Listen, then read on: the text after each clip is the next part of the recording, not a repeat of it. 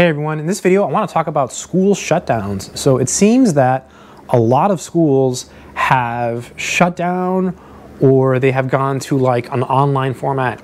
I know that where I work personally, uh, we've shut down for about a week and then I think we're supposed to go to uh, an online format for an undetermined amount of time. So I just wanted to make this video to ask uh, if any of your schools have shut down. I'll be honest, I haven't really been keeping up with the news too much. Uh, I've been mainly focusing on doing lots of math uh, and making new videos uh, for my students because of the school shutdown. Uh, I thought I had a lot of videos, but I don't have nearly enough in order to uh, like really make my classes, you know, easier in an online format.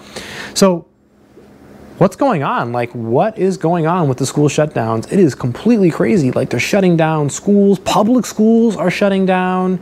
I mean, it's really, really getting uh, nuts. I heard last night a bunch of people died in Italy. Someone told me. I haven't looked it up yet, but um, it's getting really, really bad. So, what are you all doing with the shutdowns? Um, how are you all taking tests during the shutdowns? As a teacher, I'm really, really curious how your schools are handling it. Um, I basically am transitioning my face-to-face -face classes to online. So I'm setting it up to where they have like video homework, video homework, video homework, and it's all in their homework so they can just like easily go through and, and go through the homework. It's turning out to be a lot more work than expected, but it's also kind of fun.